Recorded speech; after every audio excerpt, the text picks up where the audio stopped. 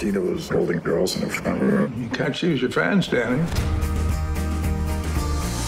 Oh, no way. You don't surprise a guy my age. You give me a heart attack. Do you remember doing an interview when you were a kid, Chime magazine? You write like Lennon, man. John Lennon read it, and he wrote you a letter in 1971. Can you believe it? Dear Danny Collins, stay true to yourself. Stay true to your music. My phone number is below. We can discuss this.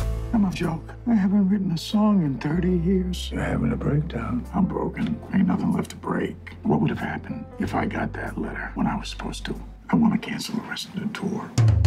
I need a plane. Jersey. Oh, welcome to the Hilton. Look who it is. I see. So you're staying indefinitely here? Are you on drugs? Currently or in general? Currently. No.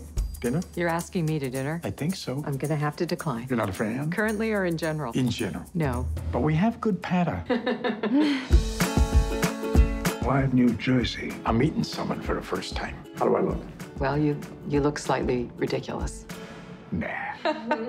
See you at seven. No, you won't. You expect it to be easy meeting your grown son for the first time. Hello. Hello. Why are you here? I'm just making some changes in my life. In a few minutes, my husband's gonna walk through that door, and this will be the last time I ever see you. You have every right to be angry. I don't care enough to be angry, okay? Uh, nice to meet you. Have a good life. Family can be messy, but you shouldn't give up. I agree. Dinner tomorrow? Good night, Danny.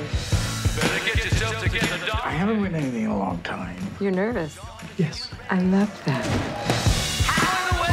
You know, I've spent my entire life trying to become the man that you aren't. I don't know what to say. I don't need you to say anything, man. I just need you to leave. You're gonna have to deal with it because I'm here.